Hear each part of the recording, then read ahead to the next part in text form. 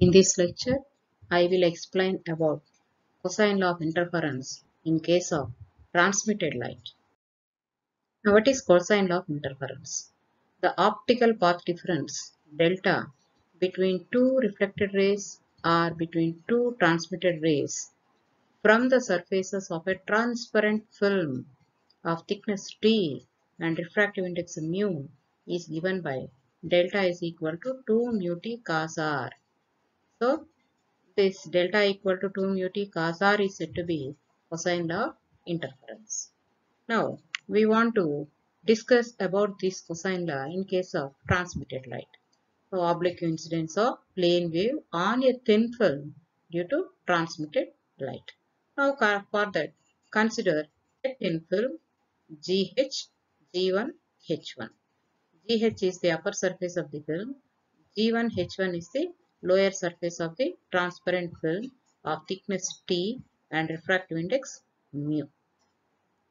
Due to simultaneous reflection and refraction, we obtain two transmitted rays CT and ET1.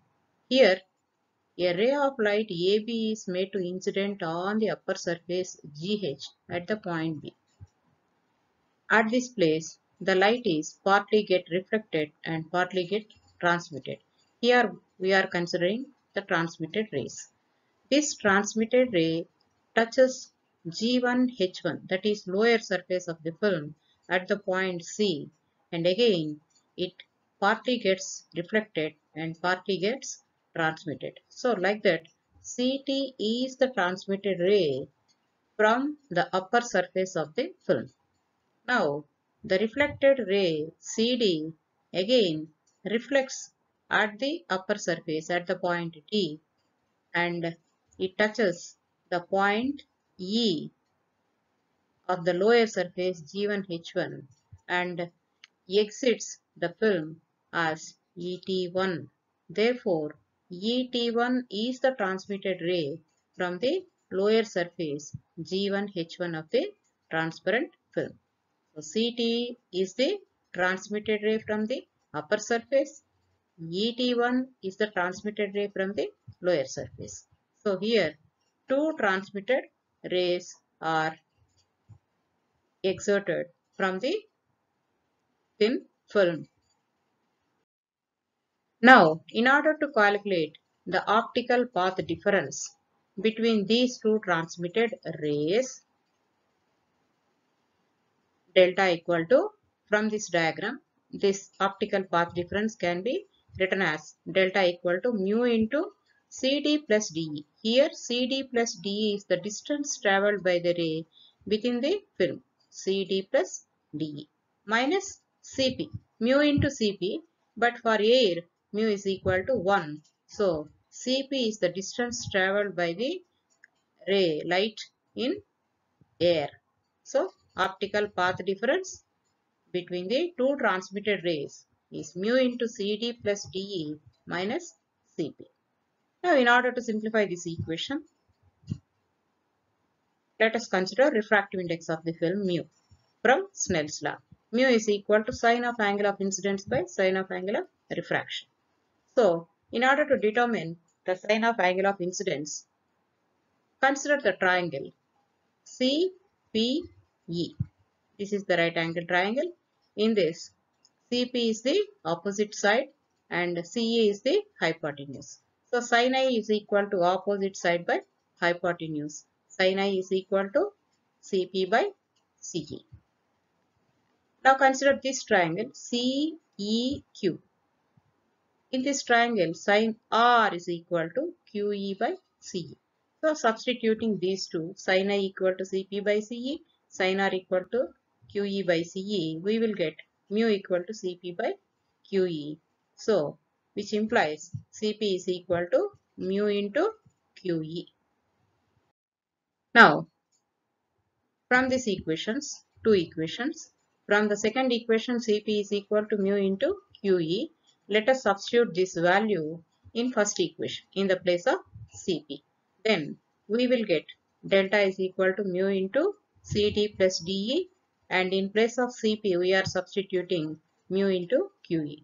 Now on expanding the terms, this mu into QE is cancelled with minus mu into QE. Therefore, delta equal to mu into CD plus DQ. But CD plus DQ equal to QA. From the diagram, CD plus DQ.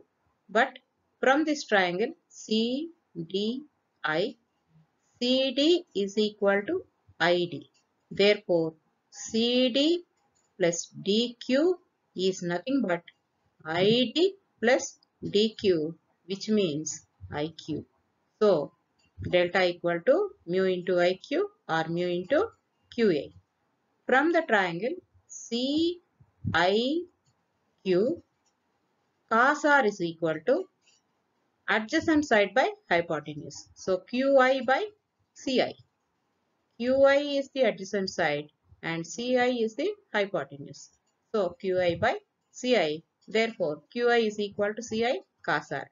From this diagram, Ci is nothing but 2t, where t is the thickness of the thin film.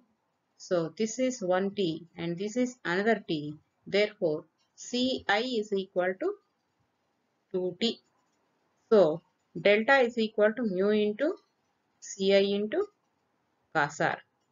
So delta equal to mu into in place of Ci we are substituting 2t into cos r Therefore, the optical path difference delta equal to 2 mu t cos r which is nothing but cosine law.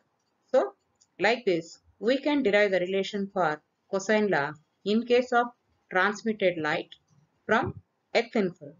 Now, here it should be remembered that inside the film, reflection at different points takes place at the surface backed by the rarer medium. Here the reflections are takes place at the surface backed by the rarer medium, that means air.